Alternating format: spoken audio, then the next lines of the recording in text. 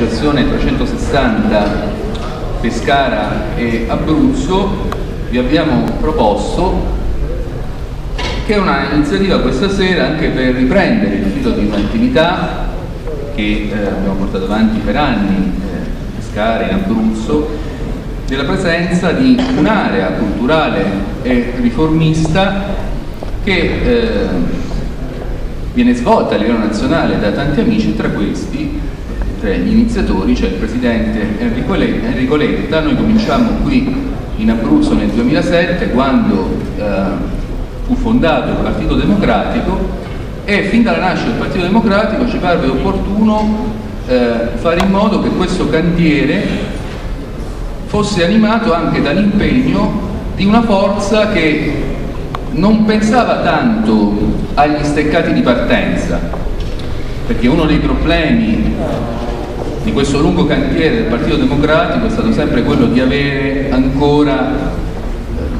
le componenti legate alle tradizioni storiche novecentesche, ma quello di animare una forza orizzontale che pensasse soprattutto all'Italia del futuro. Questa è la caratteristica che ha sempre caratterizzato un impegno che prima che politico era un impegno culturale, un impegno riformista ma in che senso? Di mettere in campo una serie di persone ma soprattutto una serie di idee per tornare a far riaffacciare nella politica pubblica di questo Paese il valore della crescita, dello sviluppo. Io ricordo che da questo punto di vista il eh, libro bianco, la prima idea da cui si partì era un librino eh, pubblicato per, le, per le saggine, la collana Le Saggine Donzelle, se ricordo bene Francesco, eh, intitolato La comunità competitiva, eh, cercando di mettere insieme due termini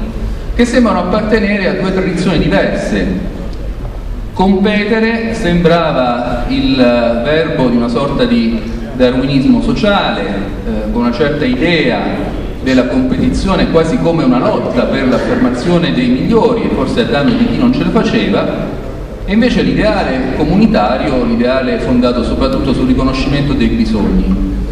Questo libro, che era anche in parte l'agenda di un percorso svolto, ma eh, una serie di proposte per il futuro, partiva dall'idea che il vero competere è un dirigersi insieme, un dirigersi, un dirigersi insieme con le ambizioni, i progetti, le idealità per fare comunità.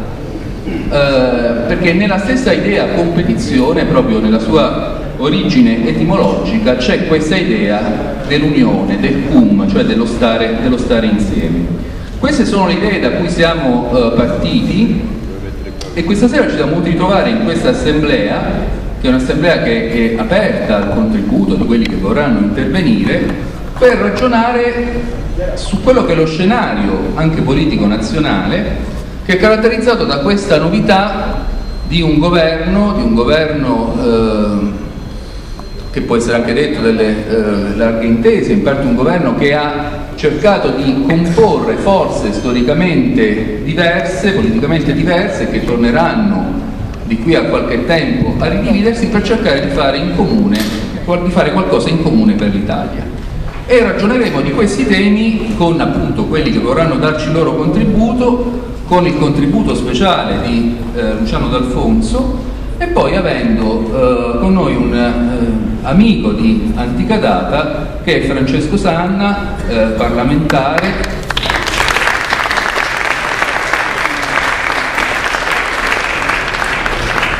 parlamentare eh, sardo e tutti quanti ricordiamo sempre la speciale similitudine che c'è sotto molti punti di vista culturali, antropici tra eh, l'Abruzzo e la Sardegna, ma soprattutto eh, l'uomo che eh, più da vicino per tanti anni ha animato l'impegno politico di Enrico Letta. Io ricordo fin dal tempo in cui Enrico, eh, giovanissimo, eh, divenne poco più che 33 eh, anni, divenne ministro dell'industria e dello sviluppo economico, volle Francesco come capo della sua segreteria tecnica e lo ricordo molto impegnato in quel ministerone di Via Veneto a, a cercare di risolvere complesse partite energetiche di quegli anni E poi eh, nel suo impegno, prima come consigliere regionale della Sardegna e poi come parlamentare, non ha mai fatto mancare il suo contributo di idee ed oggi si trova in una speciale eh, cabina di regia in un camerino molto operoso direi a Palazzo Chigi come eh, consigliere politico del eh, Presidente. Io eh, avrei terminato solo due parole ancora su quello che come 360 gradi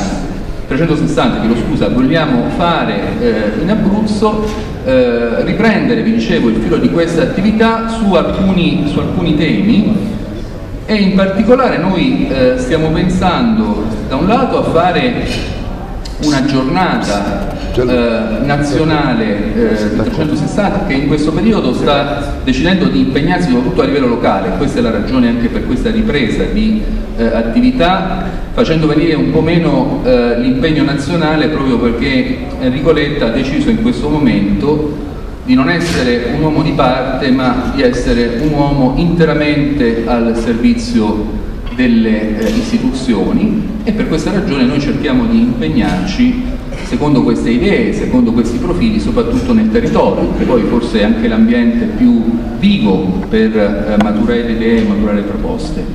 E allora in una regione come l'Abruzzo eh, ci abbiamo pensato e cerchiamo di fare una giornata nazionale eh, attorno ai temi noti eh, della green economy. Su questo c'è l'impegno di un nostro speciale amico che è Enrico Borghi, che è stato il eh, presidente delle comunità montane eh, d'Italia, eh, che ha una idea generale della green economy, ma noi vorremmo cercare di declinare il tema della green economy nello specifico abruzzese, perché noi chiaramente ci siamo dati una notorietà a livello nazionale per la nostra lotta contro tutto ciò che è inquinante, eh, contro tutto ciò che rischia di danneggiare il nostro ambiente, ma poi dobbiamo trovare un modo che al momento non c'è, non esiste, di valorizzarlo questo speciale sistema eh, naturalistico perché sia una premessa di sviluppo e di prosperità. Quindi una giornata in questo senso e poi vorremmo, e sarà anche un cammino di accompagnamento verso le elezioni regionali, vorremmo organizzare un momento per eh, mettere insieme più soggetti, l'imprenditoria, i sindacati, tutte le parti sociali, le, le associazioni dei professionisti per ragionare come sia eh, possibile applicare in Abruzzo una raccomandazione europea che è la famosa garanzia per i giovani, cioè è uno strumento che prevede che eh, per tutti i giovani, e ci sono due fasce tra i 25 e i 30 anni sotto questa quota, terminato il loro percorso formativo o terminato l'ultimo rapporto di lavoro ci sia una possibilità di effettuare una, almeno un'opportunità di tirocinio per quattro mesi per avere la possibilità di avvicinarsi in qualche maniera nel mondo del lavoro. Questa è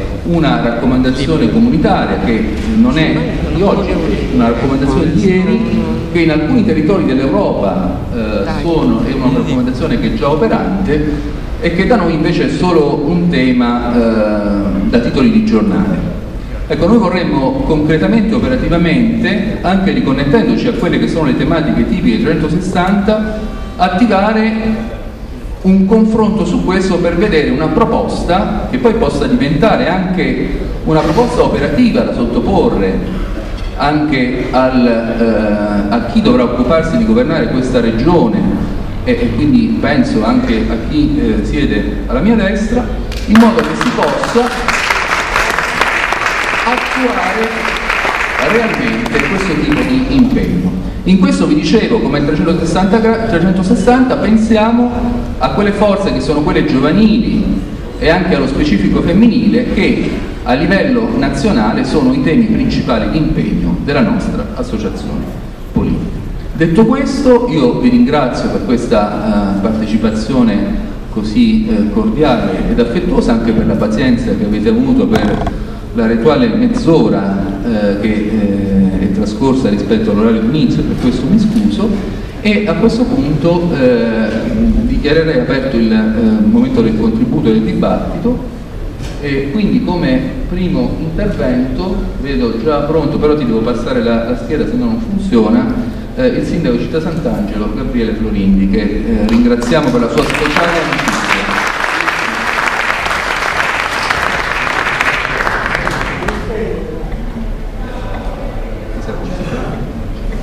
È diventato difficile anche parlare. Una volta era più facile, mo? Forse devo rimettere la scheda?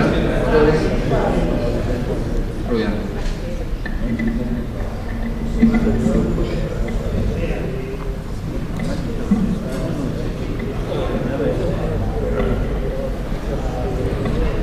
Gabriele, riformismo, dai.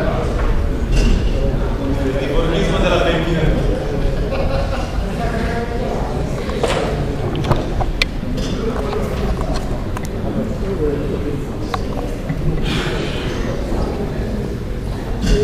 Sì.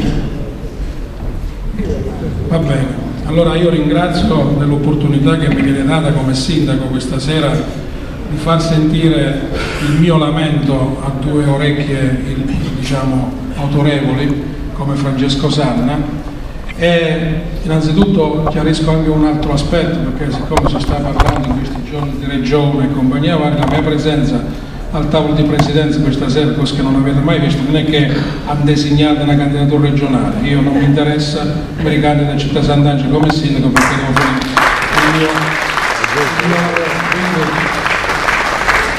al di là di tutto ciò, io volevo eh, diciamo, ecco, parlare di alcune cose importanti che riscontro ogni giorno facendo il conto eh, con i problemi che attanagliano il comune di Città Sant'Angelo, che per mia fortuna è uno dei comuni più virtuosi che stanno nella provincia di Pescara.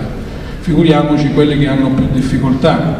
Abbiamo le stesse difficoltà del comune che non ha un euro in cassa. Io oggi, come oggi, ho la possibilità di appaltare cosa 10 milioni di euro di lavoro.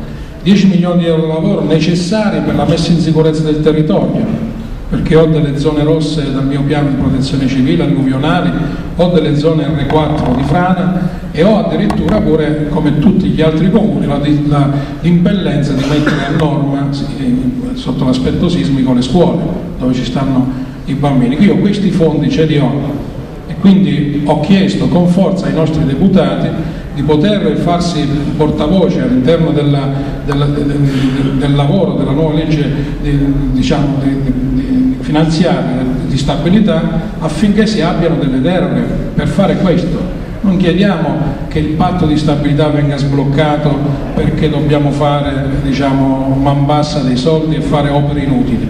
Dobbiamo mettere in sicurezza il territorio, dobbiamo necessariamente rimettere in sicurezza le strade che sono diventate dei colabrodo, strade per le quali ogni giorno riceviamo denunce di assicurazione e querele dirette al dirigente e, e dirigente e al, al, sindaco e siamo arrivati al paradosso che nessuna assicurazione vuole più assicurare i comuni.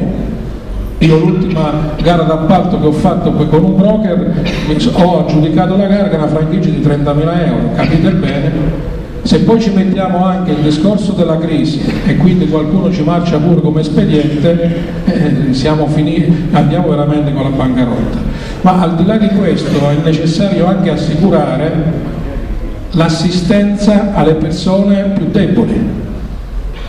Noi abbiamo avuto un taglio da parte della Regione Abruzzo notevole sull'ambito sociale l'assistenza ai più deboli. Quando parlo dei più deboli parlo dei bambini gravemente malati, parlo degli anziani, parlo dei portatori di handicap che purtroppo non mancano. Ecco, questo noi abbiamo fatto una scelta forte di rinunciare all'altro e di non far mancare questa situazione. Sì, posso anche dire a un cittadino mi dispiace non posso mettere il palo della luce perché non ho i soldi, ma non posso dire a una mamma e un padre che già colpita per aver ricevuto un portatore di handicap, un bambino non ho i soldi, questo non è possibile. Non è possibile nemmeno, non è possibile nemmeno in un momento così forte perché non è, non è assolutamente ammissibile. Ecco perché io dico al, a Francesco Sanna eh, grazie per essere qui oggi perché eh, sì, dobbiamo, dobbiamo parlarne di queste cose perché sento il distacco e questo non è polemica ma è purtroppo realtà, sento il distacco tra la base e Roma, anche se siamo vicini e questo non è possibile. Noi abbiamo, abbiamo, abbiamo, ingoiato, noi del PD abbiamo ingoiato la volontà di fare un, un, governo di emergenza nazionale facendo la coalizione larga con la PDL, ma dobbiamo dare delle risposte certe dobbiamo far ripartire l'economia, dobbiamo detassare il lavoro, dobbiamo, dobbiamo rifar partire in qualsiasi modo le aziende che annaspano. Si sta arrivando per l'assurdo che, che, che, i comuni non hanno più la possibilità di fare gara d'appalto perché non ci sono più ditte che hanno i numeri apposta e quindi che non possono partecipare alle gare d'appalto oppure se fanno i lavori non li possiamo pagare. Quindi bisogna trovare questa soluzione impellente, urgente a questo discorso. Dopodiché fare la legge elettorale, perché vogliamo delegare a Roma coloro che decidiamo noi e non coloro che decidono i partiti. Questa è un'altra cosa importante. Non è, dobbiamo, non è, che dovevamo aspettare che Grillo venisse in Italia per ricordarci queste cose fondamentali e importanti. Dobbiamo recuperare lo, il tempo perso, dobbiamo recuperare credibilità con i nostri cittadini.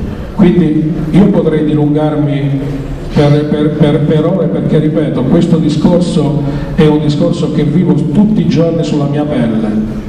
Io ricevo il lunedì mattina, il mercoledì mattina e il giovedì pomeriggio, quindi dedico tre giorni diciamo, per il ricevimento dei cittadini. Ormai non ce la faccio più perché non vengono per chiedermi il palo della luce o il bidone dell'immondizia, vengono per chiedermi il lavoro il lavoro che non c'è ed è umiliante per un sindaco piegare le spalle e dire non posso aiutarti perché non so cosa fare.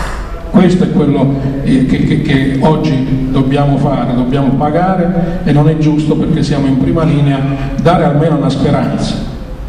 Gente che si umilia, perché gente che viene, sì, nei comuni ne abbiamo di tutti colori, quelli che vengono tutti i giorni a Città Sant'Anna si chiamano i figli del comune, ma le persone che non sono mai entrate in comune perché hanno la necessità e hanno il bisogno, vengono e si umiliano di fronte al sindaco. Io ho avuto persone, miei coetanei, che mi hanno chiesto di comprare i libri ai propri figli perché non potevano tornare a casa dalle proprie mogli senza i libri. Gente onesta che ha sempre lavorato e non ha fatto stravizi né gratta e vinci né altre cose. Questa è la realtà. Dobbiamo urgentemente uscire da questo tunnel. Non ce lo meritiamo come nazione, non ce lo meritiamo come classe politica. Quindi questa la, la, la, con, con, voce forte, con, con grande, con grande eh, cuore, chiedo a Francesco Sanna di riportare alla più alta carica dello Stato, il Presidente del Consiglio Letta, nostro, questa nostra richiesta e ringrazio tutti coloro che mi hanno voluto ascoltare. Grazie.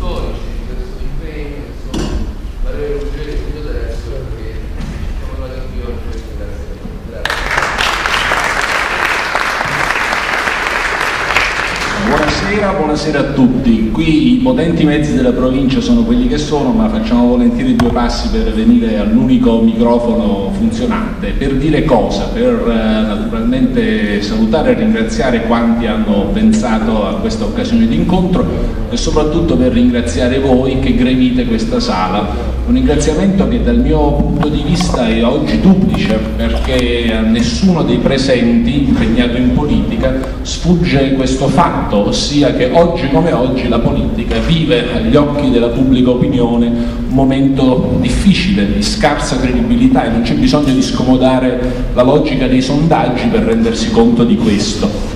Mi piace per esempio citare al riguardo un grande pensatore contemporaneo che si chiama Teodorov, il quale sostiene che oggi come oggi non ci sarebbero più differenze fra destra e sinistra, circostanza per, su cui peraltro non sono d'accordo, ma la differenza è fra la democrazia e il populismo perché oggi come oggi, in un momento appunto di crisi così difficile, così come ad esempio raccontatoci dal sindaco, dalla prima linea della pubblica amministrazione che deve fornire risposte, ecco che a fronte della difficoltà di fornire risposte si, si assume un atteggiamento distruttivo, tutti fanno schifo, tutti sono uguali, tutti sono incapaci, però occorre una risposta Visto che abbiamo l'onorevole Sanna vicino al Presidente del Consiglio Enrico Letta, mi piace per esempio eh, ricordare questo breve ma per me molto significativo passaggio che penso molti dei presenti ricordino, ossia Uh, l'incontro in sede di formazione del governo fra Enrico Letta la sua delegazione e quella del Movimento 5 Stelle, la grande novità di questi giorni, di questi mesi, di questo anno sostanzialmente,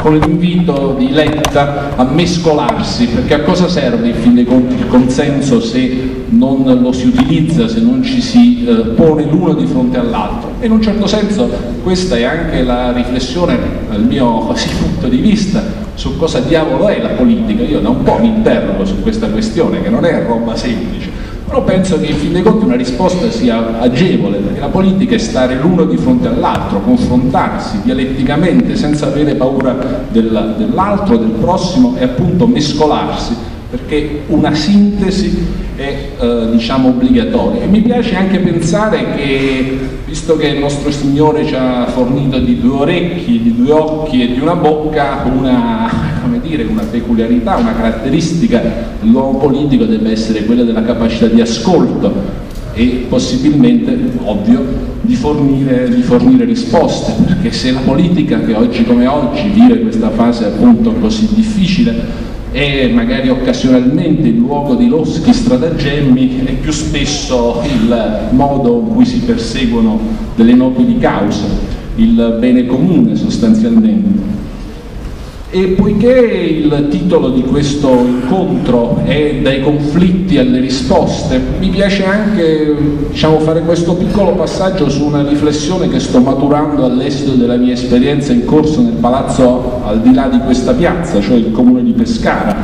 È stato in qualche modo anche accennato nell'intervento del sindaco di Città Sant'Angelo e di Marco Presutti all'inizio, ossia questo, la green economy, un tema molto ricorrente nel dibattito pubblico, ancora più calzante in una regione come l'Abruzzo che viene pubblicitariamente venduta come il polmone verde eh, d'Europa. E senza nessuna diciamo, suggestione ambientalista particolare, ma solo all'esito di un'analisi spassionata e oggettiva della realtà, io ritengo che oggi come oggi il modello di sviluppo teso e volto al consumo irrefrenabile e sfrenato di suolo non sia più accettabile, il suolo è un bene unico che non può essere diciamo, recuperato, una volta in cui si costruiscono metri cubi su metri cubi, essi rimangono per le generazioni future. Però sottolineo questo con molta chiarezza, non ci sono dire, metri cubi buoni e metri cubi cattivi, ci sono metri cubi utili e metri cubi inutili. In Italia, è un dato che mi ha colpito molto e lo riferisco anche a voi, oggi per esempio esistono circa 3 milioni e mezzo di vani vuoti, che significano anche Uh, città di vita con riflessi per esempio anche sulla pubblica sicurezza perché voi immaginate un quartiere sorto dal nulla in cui non ci abita nessuno esso è evidentemente destinato a divenire un luogo di, diciamo, di alienazione, di solitudine so, qualche, diciamo, no? la famosa teoria della finestra rotta una teoria sociologica americana degli anni 60 a proposito della, uh, diciamo, della vita delle città che poiché le città non sono militarizzabili, non è pensabile controllare ogni angolo di una città, ecco che uh, la, sua, la manutenzione delle città diviene centrale, la manutenzione delle città è affidata in qualche modo a tutti noi. Teoria della finestra rotta significa preservare uh, appunto il corredo, il tessuto urbano, evitando piccole eh, diciamo, mancanze, una finestra rotta, poi diventano due finestre rotte, tre finestre rotte, quattro finestre rotte, eccetera. E concludo questo intervento, dicevo, una riflessione eh, nata da, appunto, da questi dati che mi paiono oggettivi. Credo che sia tempo di ripensare il modello di sviluppo che c'è stato, io personalmente sono molto eh, convinto di quelle che non sono solo teorie, ma insomma sono la, la punta più avanzata della urbanistica contemporanea che è la cosiddetta urbanistica volumi zero, che significa cessare il consumo di suolo, cessare questo spesso inutile consumo di suolo e recuperare l'esistente per valorizzare il patrimonio immobiliare che già esiste eh, e per appunto evitare inutili appesantimenti. Questo anche nell'ottica naturalmente dell'efficientamento energetico e della qualità e della vivibilità delle nostre città. Vi ringrazio.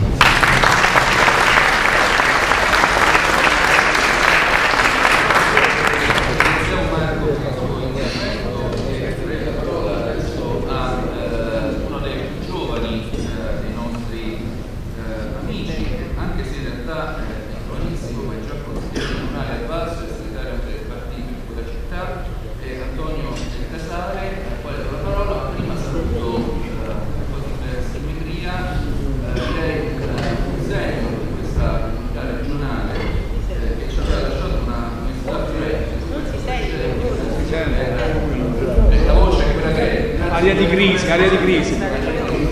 Col microfono, aria di crisi. Comunque ha salutato il rettore Crescenti.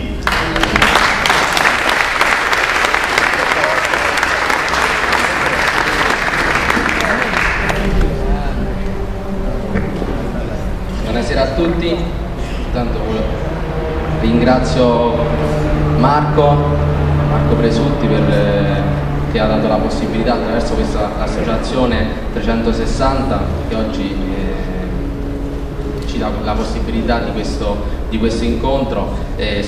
ascoltare eh, Luciano D'Alfonso e Francesco, e Francesco Sanna. Un'associazione, quella di 360, che al contrario di altre associazioni punta soprattutto sulla formazione politica valorizzando il merito e la competenza. Un'associazione che fa politica partendo dai, dai territori. E ovviamente non si può non costruire un processo politico attraverso la mediazione ma soprattutto il coraggio. Lo stesso coraggio che possiamo ritrovare e io comunque ho ritrovato attraverso una, una, finanziaria sicuramente difficoltosa ma che rispetto al passato sicuramente ha analizzato un trend, un trend diverso quello che però maggiormente oggi stando qui a, a, a Pescara soprattutto in quella che poi è la nostra, è la nostra regione è quello che noi giovani soprattutto cerchiamo noi giovani vogliamo che amiamo la nostra regione, vogliamo viverci nel nostro Abruzzo. Un Abruzzo competitivo però passa soprattutto attraverso alcuni, alcuni processi, come quello della banda larga, come quello delle infrastrutture, come quello del welfare, come quello soprattutto di dare un senso, un nuovo senso anche alle aree, alle aree svantaggiate della nostra regione senza lasciare nessuno indietro. La difficoltà della politica sta proprio nel, nel dare risposte. Per fare questo come spesso dice, dice Luciano, dobbiamo ricreare una comunità. E una comunità la si fa proprio attraverso questi incontri e questi dibattiti, in cui abbiamo la possibilità di, di esprimere quelle che sono le nostre opinioni e poi di metterle, di metterle in rete. Una comunità però passa anche attraverso il coraggio di stabilire quali sono le nostre priorità io nel mio piccolo oggi qualche priorità ho voluto darla è quella della banda larga e delle infrastrutture, per me che vengo comunque da un territorio svantaggiato che troppo, che troppo spesso eh, perde quelle che sono alcune risorse perché dobbiamo avere anche un po' di coraggio in più dicendo che questa regione ha anche bisogno di una città metropolitana che è quella di un'area metropolitana, quella di, quella di Pescara Chieti e di anche nuovo slancio a quelle che sono le città territorio eh, città distrettuali a cui troppo spesso mancano, mancano risorse. Per fare questo serve appunto dare tutti quanti insieme quindi ringrazio nuovamente Marco per questo, per questo incontro, stabilire quali devono essere le priorità. Grazie a tutti.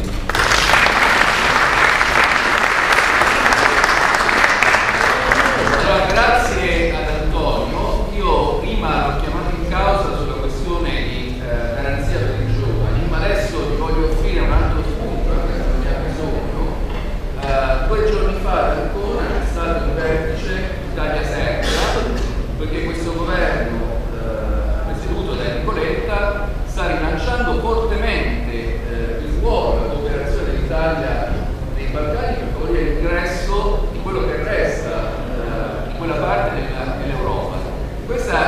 grande opportunità per questa parte dell'Adriatico, questa parte dell'Italia e il Presidente del Marche Spappa era prontissimo a recepire già questa uh, opportunità, questa cosa. Le Marche cioè ci sono, probabilmente eh, manca l'Abruzzo.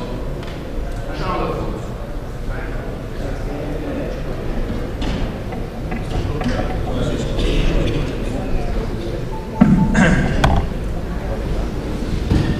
Io sono contento per questa bella occasione perché non c'è la tristezza di alcune riunioni di altro ambiente di partito, convinto come sono che le moltitudini che pensano, sognano, progettano e rappresentano questioni sono l'anima della democrazia. Francesco, grazie che sei venuto, onorevole Sanna, però mi prendo un minuto per fare diciamo, una considerazione ridente in ordine anche a questa disfunzione che c'è. Vedete, noi abbiamo assistito in questi mesi a un dibattito riguardante il superamento dell'attuale organizzazione istituzionale del nostro Paese.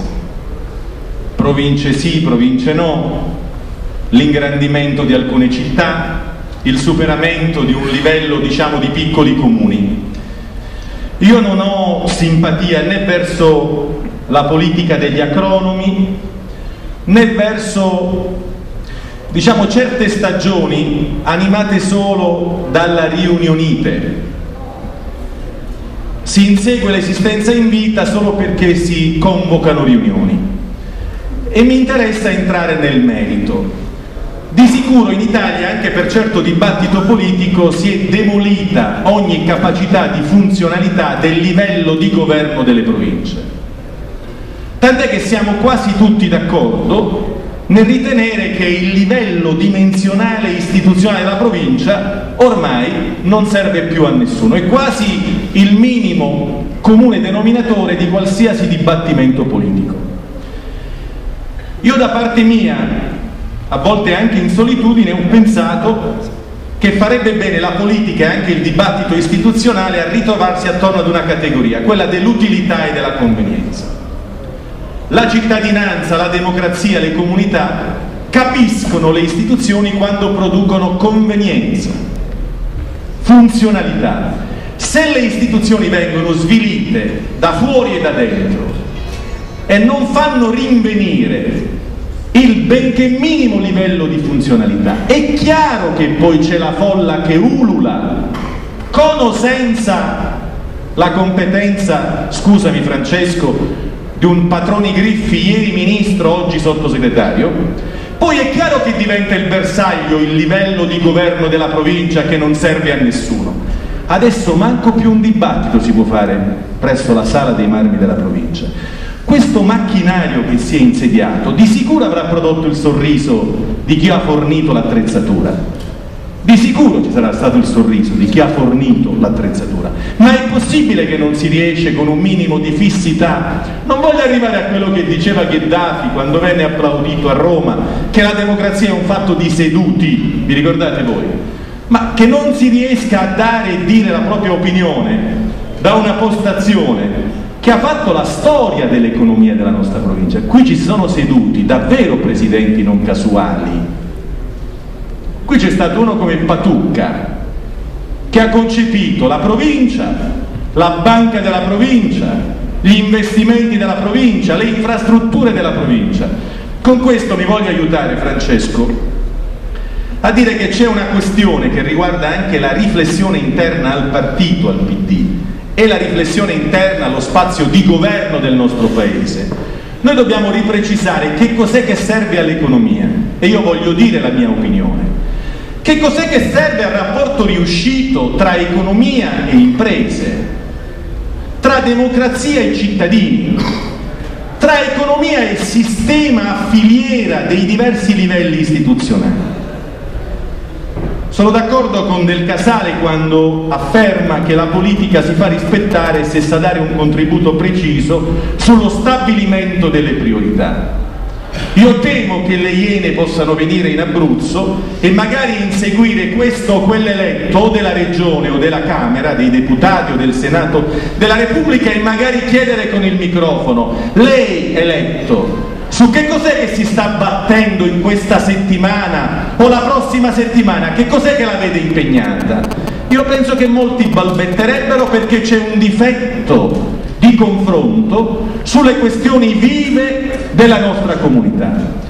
Io mi voglio distinguere col vostro aiuto e vorrei contribuire a fare un'agenda anche della venuta di Francesco Sanna qui e domani del suo lavoro a Roma come collaboratore politico di Enrico Letta. Prima questione Francesco, è immaginabile che si completi quello sconquasso che pure ha affascinato pezzi della politica italiana circa la revisione dell'organizzazione statuale del nostro paese, prendendo di mira e ho detto, per certo verso ha ragione le province, è immaginabile mettere all'ordine del giorno la riorganizzazione delle regioni, senza la casualità con la quale abbiamo assistito al dibattito sul superamento dei piccoli comuni, così quasi con un pugno allo stomaco quando un anno fa ogni giovedì si poneva all'ordine del giorno il tema dell'uccisione dei piccoli comuni. È possibile immaginare, visto che siamo entrambi di provenienza cattolico-democratica, intanto una San Pellegrino del pensiero, prima di arrivare a utilizzare le carte intestate dello Stato? Qual è il livello di piccoli comuni che portiamo a convergenza, ad alleanza di funzioni? Qual è l'incentivo che deve spingere e stimolare a che i piccoli comuni si possano combinare tra loro? Ma a me interessa adesso il tema delle regioni. Possiamo immaginare un sistema incentivante che faciliti l'alleanza delle regioni? Adesso non voglio essere sarcastico.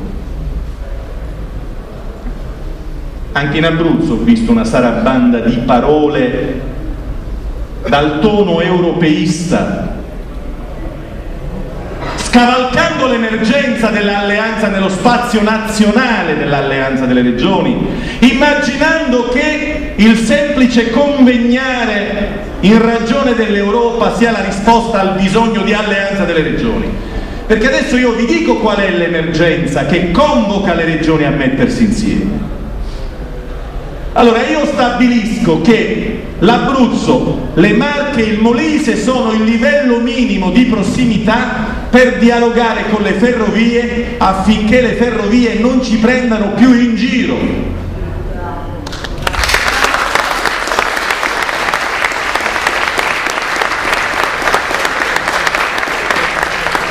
E non mi si può dire che le camere di commercio organizzano i biscotti bagnati di rum e sarebbero il sostituto di quello di cui abbiamo bisogno noi per dialogare progettualmente in termini infrastrutturali con le ferrovie.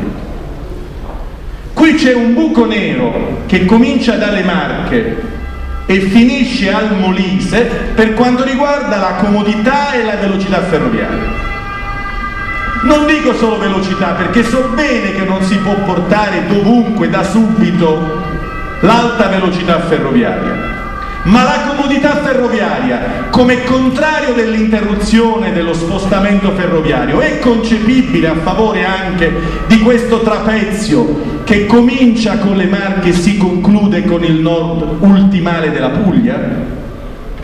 Questo si può fare alla condizione che cessi la stagione delle solitudini, alla condizione che al Cinsedo in via Parigi a Roma ci si vada non per marcare una presenza. Io vedo dei passeggianti di Ventura, io quando vado a Roma lascio la macchina ad un parcheggio che si chiama International Garage in via Parigi, casualmente al numero civico prima ci sta la sede del Cinsedo che è la conferenza delle regioni. Io vedo dei passeggianti di Ventura lì, Naturalmente ogni settimana sono diversi. Ci va il presidente, quella successiva l'assessore, quella successiva ancora ci va il capo dipartimento e poi il dirigente, come se fosse un obbligo di crizia a marcare la presenza, dimenticando che invece lì va coltivato come il sentiero di una fatica, che significa concludere portando a casa la risorsa normativa o finanziaria che tu ti aspetti, come ha saputo fare l'oggi il discusso Formigoni di ieri. Ma Formigoni non ha sbagliato un colpo su questo e non solo per la grandezza demografica di quella regione, ma anche per la chiarezza degli obiettivi. Allora io dico, si può affidare questo alla bravura dei singoli? al colpo di fortuna dei singoli, alla competenza anche di alcune stagioni dei singoli? O non è il caso, convinti come siamo, di organizzare un meccanismo oggettivo che faciliti l'alleanza delle regioni? Francesco, lo dico adesso al tuo essere democratico, evitiamo di farci scavalcare da Zaia, da Maroni e dal giovanotto del Piemonte, non mi ricordo come si chiama, perché è stato un errore, lo so che si chiama Cota, è stato un errore che abbia battuto la Bresso che era bravissima. Noi dobbiamo essere anche capaci di primati nel sollevare le questioni, nel portarle avanti, è così che la gente si riaffeziona. È così che è accaduto quando è accaduto anche in questa regione, quando c'è la coincidenza tra l'intuizione e la battaglia, e quando c'è la continuità nella battaglia fino al raggiungimento del risultato. Allora, evitiamo che sulla materia dell'organizzazione statuale come configurazione degli spazi dello Stato ci sia la casualità del giovedì di un anno fa ogni giovedì dovevamo leggere il Sole 24 ore se ce la faceva per capire qual era il singhiozzo riformatore normativo riguardante il livello di organizzazione dello Stato a partire dai territori più vicini ai cittadini. Mettiamo all'ordine del giorno l'alleanza delle regioni, perché è un'emergenza ormai. In Abruzzo, caro Francesco, ne hanno parlato financo le associazioni degli arbitri che serve più infrastrutturazione gli industriali, gli artigiani, i commercianti, i medici, hanno tutti ragione a occuparsene. Ma se ce ne occupassimo in sede politica propria, per esempio modellando un'alleanza delle regioni prossime per inanellare una serie di obiettivi. Comincio dalla partita delle infrastrutture. Ma perché l'organizzazione di un livello adeguato di offerta sanitaria voi pensate che si possa ancora esaurire nello spazio di una regione del 1975, dal 71 al 75? Cioè l'offerta di qualità del prodotto salute, voi pensate che ancora possa coincidere con l'esaurimento nello spazio di una regione preesistente? Io immagino che il sistema sanitario regionale debba essere concepito di più regioni alleate insieme, perché o lo fa la politica, il progetto della politica, o lo fa il consumatore, trattino, cittadino, trattino, persona, paziente. Mio padre ha deciso lui di andare alla Gisi di Ancona perché sapeva che funzionava. Allora organizziamo noi un sistema di alleanze regionali facendo in modo che dovunque c'è la bravura, lì ci sia il massimo dell'investimento, il massimo dell'organizzazione, il massimo della dotazione, organizzando delle verticalità di specializzazioni laddove è la specializzazione quella che si cerca. Insomma, ingrandiamo il nostro pensiero. Oggi Matteo Renzi, in una bella, finalmente, intervista completa, ragionata, quasi esaustiva, spiega che cos'è il cambiamento che lui vuole realizzare va oltre la categoria del sé e affronta il tema del cambiamento che riguardi sia gli oggetti di questa organizzazione paese, sia la sfera di ciascuno di noi. Organizziamo intanto l'ingrandimento della dimensione della quale ci occupiamo. Appena detto per la sanità, a volo d'angelo, ma perché sul sistema universitario ma dove sta scritto che uno debba trovare tutto quello che serve nello spazio di una regione preesistente? Se poi noi riusciamo a fare il trasporto di qualità, nessuno porrà questione. L'importante è che ci sia un'offerta di qualità. Se il tema è la salute per quanto riguarda la salute, se il tema è l'educazione e la formazione per quanto riguarda la formazione, ma anche il sistema di attrazione di investimenti, il sistema dell'arrivo delle imprese, ma qual è il problema di andare a lavorare anche appena dopo Tortoreto o appena dopo San Salvo? L'importante è che arrivino le imprese, che ci sia un sistema di alleanze regionali capaci di fare attrazione, di promuovere un menù di attrazione. Io dirò nella battaglia elettorale che faremo il menù Abruzzo, ma ho in mente un menù di un territorio più grande dell'Abruzzo per far arrivare le imprese, dicendo alle imprese che noi saremo i più bravi per avere il loro sì. Non accadrà più quello che è successo adesso, anche con ottocentesche attività imprenditoriali tipo l'Italcementi di Scafa. Ma può essere che un insediamento che ci sta dal 1898 nell'arco degli ultimi otto anni, sette anni, non è stata mai più avvicinata da nessun livello istituzionale. Io vengo da una esperienza di governo e di politica durante la quale ci parlavamo con le imprese, anche quelle che facevano frutti, dicendo che vi serve, come procede. Nella Valà del Pescara, i sindacati lo stanno sollevando adeguatamente, è un cimitero di mortalità imprenditoriale. È quello che abbiamo messo in piedi negli anni Ottanta, adesso si è completamente capovolto. E io non mi rassegno al fatto che l'internazionalizzazione delle vicende economiche o la globalizzazione debba produrre soltanto mortalità, perché ho un'idea gigantesca della risorsa normativa e della risorsa amministrativa. E quando le imprese sono serie, tipo la famiglia Pesenti, che si informassero qual è il rapporto di collaborazione tra la famiglia Pesenti e Bergamo, molta parte delle attività espositive, artistiche e culturali di Bergamo, Museo di Arte Contemporanea, molta parte delle attività culturali, artistiche di quel museo è finanziata dalla famiglia Pesenti per dire qual è il livello di assistenza, vicinanza, solidarietà, sostegno. E noi qui stiamo assistendo passivi alla demolizione di un tessuto economico che vede di sicuro la bonomia da parte degli attuali governanti. Non c'è contrarietà a fare qualcosa, non si sa cosa fare. Non c'è la contrarietà. È come se ci fosse il vuoto dello zaino circa le iniziative da assumere. Allora dicevo l'ingrandimento del territorio di riferimento anche per concepire l'attrazione di investimenti. Così come, caro Francesco, noi abbiamo bisogno di misure puntuali che consentano a favore della persona, la persona che per esempio esce dal sistema scolastico e universitario, deve avere una possibilità di verificare la sua formazione del dire teorica incrociando il mondo del lavoro con formule diciamo di legame all'impresa non giusto lavoristiche, non di, non di contrattualizzazione giusto lavoristica, e cioè lo stage e il tirocinio, noi la dobbiamo rendere un'opportunità per tutti. Come fare questo? Io faccio una proposta puntuale ed è possibile farla anche su base regionalista, ma se le regioni non lo fanno, il tempo che passa passa inutilmente, è bene che ci pensi anche il sistema normativo nazionale.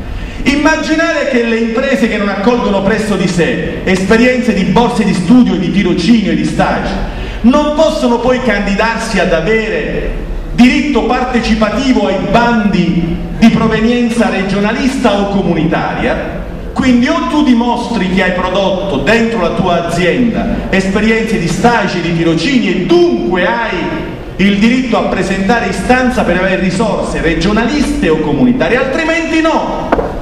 Attraverso la politica della premialità tu puoi facilitare la correttezza di un comportamento imprenditoriale.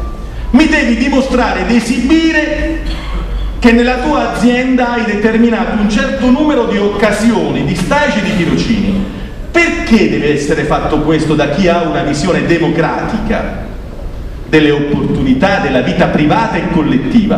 Perché se non ci pensa il potere pubblico, l'autorità, si verifica che chi ha dentro la famiglia un capofamiglia che ha relazioni ha l'opportunità dello stage del tirocinio. Chi ha dentro la famiglia un capofamiglia che non ha relazioni e opportunità non si realizza l'incrocio, l'ingresso, questa straordinaria opportunità di essere verificati che è lo stage e il tirocinio.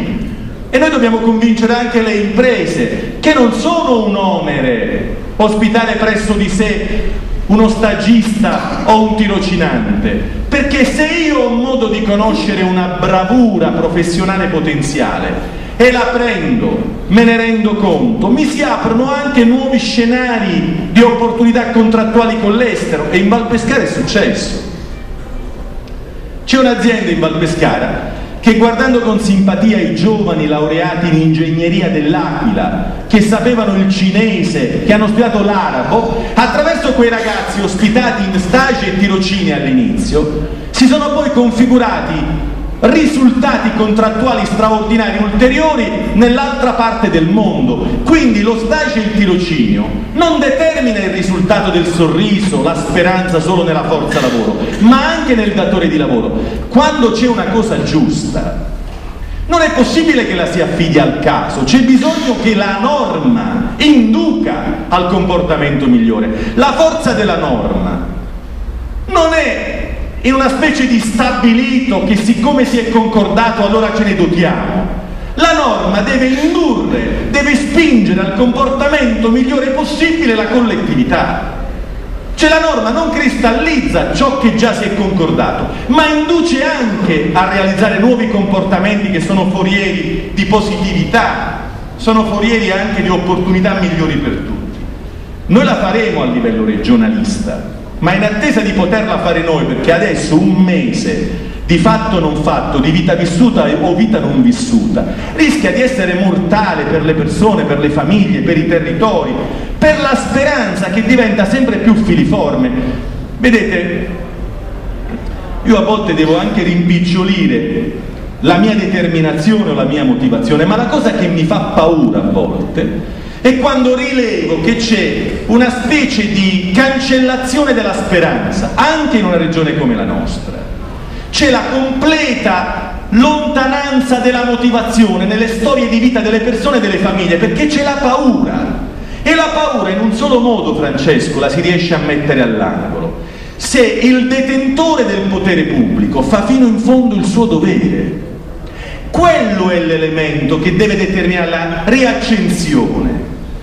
Dicevo ieri in macchina con tre amici mentre andavamo all'Aquila, questa città che è la capitale ancora del dolore, ancora del dolore Francesco. E noi dobbiamo aiutare questa città ad essere la capitale dei cantieri, delle gru e delle opportunità. Dicevo a questi tre amici, ognuno dei quali fa bene il suo lavoro, chi all'università, chi all'impresa, chi in un ente locale, Dicevo che noi quando sappiamo che c'è da qualche parte il bene che si realizza, dobbiamo aiutare questo bene affinché diventi oggetto di notizia, perché se il bene che si fa fa notizia, reinduce, riproduce la fiducia. In questa regione c'è un dramma che è la mancanza di fiducia che sta allontanando la voglia degli imprenditori a fare investimenti sta comprimendo financo i consumi in capo a persone che in alcuni paesi hanno anche dotazioni di risparmio. È come se si fosse sospesa la dimensione del tempo della vita. Alla politica, al potere spetta di riattivare questo clima di fiducia, scuotendo le migliori idee, facendo in modo che il confronto scateni quanto di meglio si può pensare e poi si può fare allora per me è una priorità fare in modo che i 200.000 Goffredo Pittini a Roma chiama soggetti viventi, io che sono cattolico, democratico, io le chiamo persone, 200.000 persone in Abruzzo la mattina si alzano e dedicano il cervello all'indirizzo del futuro, dai bambini agli studenti delle università. Abbiamo 70.000 studenti universitari e poi ci sono 130.000 tra bambini e adolescenti. Queste 200.000 persone noi dobbiamo renderle oggetto della massima della nostra premura. Lo stage e il tirocinio le dobbiamo concepire come opportunità per tutti. Ai fondi FAS non potranno partecipare quelle imprese che non esibiscono non più solo l'appartenenza ad un agro o il certificato antimafia che fa la prefettura, o la regolarità contributiva. Mi devono dimostrare che presso le loro aziende hanno realizzato un'esperienza di responsabilità sociale. Guardate che non è un'invenzione questa. Nel 1953 ce lo venne a insegnare Adriano Olivetti in Abruzzo a Pietranzieri. Nessuno lo ricorda perché questa regione ha cancellato anche la memoria. 1953 sul dolore della vita dei partigiani. Un gigante del nord del paese che faceva impresa con la responsabilità sociale è venuto ad insediare l'esperienza di una cooperativa con l'idea di scatenare la grande capacità di rimozione dei fatti che non andavano e di costruire il futuro. La responsabilità sociale di impresa nasce così nella storia economica dell'Abruzzo. Noi abbiamo l'obbligo di recuperare queste straordinarie esperienze. E guardate, l'esperienza culturale, comportamentale, quando si fa norma, deve incontrare il potere pubblico. E noi ci candidiamo a utilizzare il potere pubblico, ma non per essere sostitutivi di quelli che ci stanno, quelli che ci stanno arrivano 5 minuti prima al premio Scanno e noi arriveremo 8 minuti prima e la differenza è questa.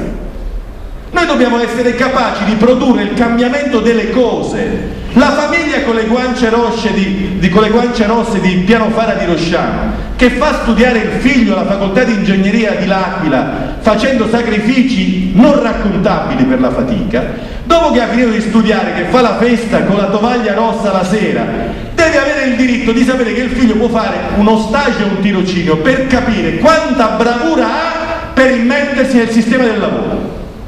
Non è possibile che poi sia affare di quella famiglia nel suo privato. Io la concepisco così e guardate che io quando parlo in questi termini e quando opero in questi termini mi è sempre capitato di vincere le elezioni.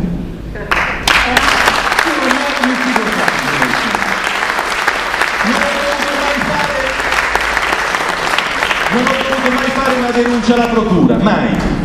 Non ho dovuto mai costruire inganni contro qualcuno. E guardate, sento rumori anche in queste settimane che non so che cosa dovrà accadere. Io voglio vincere le elezioni, se la democrazia vorrà la mia candidatura, perché noi siamo più bravi a proporre, a prefigurare, a realizzare e a ricostruire un clima di fiducia, di speranza. La sua venuta qui non è la venuta, diciamo così, di esibizione di un'amicizia personale,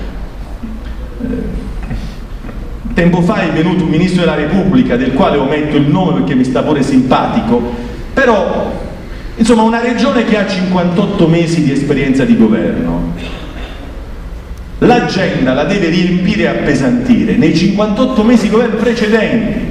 Noi abbiamo un'idea del tempo di questo tipo, caro Francesco. Se la cittadinanza vorrà, noi ci insedieremo o a marzo, o aprile o a maggio, i primi quattro mesi per precisare l'azione programmatica di governo, i 50 mesi successivi per fare provvedimenti e decisioni, per utilizzare le carte intestate della regione per colpire i problemi della comunità e fare in modo che si trasformino in opportunità. E i mesi restanti per raccontare con le fotografie i risultati raggiunti. Ma mica alla fine tu puoi continuare a invitare i ministri per fare che? l'inganno dei sorrisi.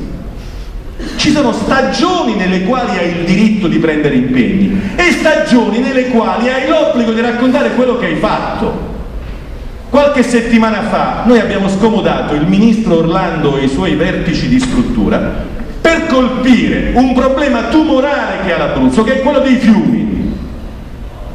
Attraverso la rete, l'attuale Presidente della Regione ha saputo di questa nostra iniziativa a Cepagatti e ha convocato in fretta e in furia, dimenticandosi anche di firmare gli inviti, a Teramo per il fiume Tordino per fare il contratto di fiume, mettendo in un imbarazzo incredibile anche i dirigenti attuali della regione, che non sapevano che fare di quello che loro avevano fatto.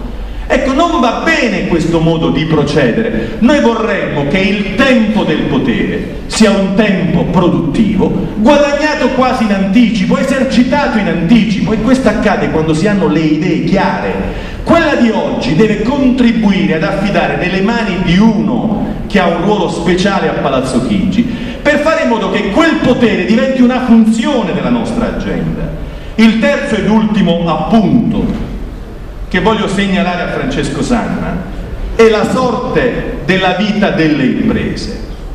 Noi dobbiamo fare in modo che la vita dell'impresa, cioè la vita di chi investe per fare impresa, sia una vita facile. Nel nostro menù Abruzzo, che ingrandiremo, noi dobbiamo rendere certo che chi viene in Abruzzo ad investire, con zero ore avrà il sì. Nel sito precisato dal punto di vista di un piano regolatore degli investimenti che destina quel sito a investimento economico, la risposta del sistema a chi vuole investire deve essere una risposta favorevole. La Silicon Valley di Steve Jobs perché veniva preferita? Perché lì era nella stessa domanda la risposta, un po' come la pubblicità dei Marriott Hotel. All'ingresso voi trovate, non perché io li frequenti, perché li hanno frequentati altri parlamentari, ma ho letto che è così, c'è all'ingresso una pubblicità, la risposta è sì, dite qual è la domanda. Noi dobbiamo fare un piano regolatore degli spazi di questa regione. Se c'è uno spazio destinato per consistenza come 33% del suolo dell'Abruzzo, in quel 33% chi si vuole insediare, scommettere il proprio denaro, il proprio tempo, il proprio progetto di vita, deve avere il sì facilmente. E non come accade ancora adesso a Ortona che un industriale che ha preso un contratto di 780 milioni nel mondo, nel mondo dei privati, deve realizzare un involucro per fare la prima centrale nucleare in area dedicata in Francia, il pezzo di ferro che ospita questo esperimento, lo deve fare a Ortona 29 mesi per dirgli di sì o quasi di sì. E il dibattito che si fa a Piazza Unione ad opera di tante sigle è con 30 mesi di riunioni che si fa a Piazza Unione, adesso vediamo come rilanciare lo sviluppo. Dall'Abruzzo sono partiti, caro Francesco Sanna, a Via Molise, ai tempi della 488, qualcosa come 600 progetti di investimenti in innovazioni tecnologiche. 150 sono stati finanziati di quei progetti. I 350 restanti quei 450 restanti si possono prendere in esame e chiedere loro siete ancora interessati? Vostri progetti di investimento hanno ancora una consistenza di importanza, di vitalità? Ecco, io ragionerei così, assumendo che il sì a chi fa investimento è un atto dovuto, precisando che il dove si fa l'investimento ha già una vocazione imprenditoriale. Insomma, io immagino che il potere pubblico si debba compiegare rispetto a chi fa investimenti, soprattutto in una fase di crisi come questa, dove non c'è scelta. Su questo l'attività, l'assetto normativo devono dare prova di consapevolezza la regione quando sarà il nostro momento, ma adesso che abbiamo questo magico momento con un amico a Palazzo Chigi, con una potente attrezzatura di risorse umane, ci sono alcuni, il capo della segreteria di Letta è uno molto bravo, come si chiama? Ferrari, me ne parlano molto molto bene e me lo dicono quelli che lo giudicano alla Corte dei Conti, all'Ispettorato Generale di Finanza Pubblica, mi dicono che sia molto bravo questo tecnico che sta con lui. Immaginare allora una dazione normativa che faciliti la vita dell'investimento dell'impresa. Se c'è un investimento e ha una ricaduta occupazionale come ci ha insegnato Delors. La distinzione delle due Europe. C'è un'Europa robusta e sana che marcia spedita senza porsi il tema delle conseguenze per chi sta a largo della società. C'è poi un'altra idea di Europa che si fa carico anche della ricaduta sociale di una sanezza economica e finanziaria, che si chiama l'investimento che genera sviluppo, crescita. Noi dobbiamo assolutamente rieducare anche questo livello internazionale di dotazione statuale. Non è possibile che l'Europa nell'arco di 15 anni sia passata al massimo dell'applauso, al massimo della problematica. A Pescara insegna un professore di economia politica che si chiama Bagnai, che sta diffondendo un pensiero che è razionalissimo, Un'Europa così non ci entusiasma più se non ricomincia a creare opportunità. Allora, e concludo, molto farà anche la Regione, molto. Attenzione, Dante, perché poi indagano me se no è. tu cadi la provincia di determina l'incidente io vengo indagato. Noi dobbiamo fare in modo insomma che si riprecisi questo patto tra il potere e chi investe, tra il potere e l'economia. La Regione farà tutta la sua parte, però vogliamo che il Partito Democratico sia in prima fila a stimolare innovazioni, concepimento anche di ciò che non si è mai visto. Non si è mai visto, per esempio, che un'autorità portuale che sta a Ancona possa anche occuparsi del porto di Pescara, se il tema che manca è la manutenzione. E non mi si può dire che oggi la norma lo impedirebbe. E che cos'è che impedisce alla norma di essere cambiata? Se la manchevolezza è l'attività manutentiva del porto di Pescara o l'intermittenza della manutenzione, perché non immaginare che l'autorità portuale di Ancona determini un suo estendimento di competenza? Se non fosse possibile fare un'agenzia portuale tra Pescara, Ortona, Vasto e Giulianova, magari mettendo dentro anche Termoli, io immagino l'innovazione l'ideazione, la creatività, la creatività anche sul piano normativo. Io non voglio esibire quello che si è fatto a Ravenna, prima o poi nascerà un Bersani senza errori anche in Abruzzo, ma noi abbiamo il bisogno di concepire un miglioramento della dotazione delle regole del gioco. Sul porto non c'è da accendere le candele, hanno chiesto anche al vescovo di dire la messa. Non c'è da fare quello che ha fatto l'assessore da me stimato Gatti, non si è fatta la manutenzione alle scuole, si è fatto fotografare lui che ridipingeva le scuole. Quello è il rinunciatorismo più spinto. Noi dobbiamo prendere in braccio la sorte della questione e risolverla. Per me il porto di Pescara ha bisogno di un piano regolatore portuale e di una insistente attività manutentiva e a monte ha bisogno di una bonifica della qualità delle acque del fiume. Ma non è che noi su questo ci abitiamo e facciamo le bambole, senza pettinare le facciamo le bambole. Noi dobbiamo dotarci di una soluzione normativa.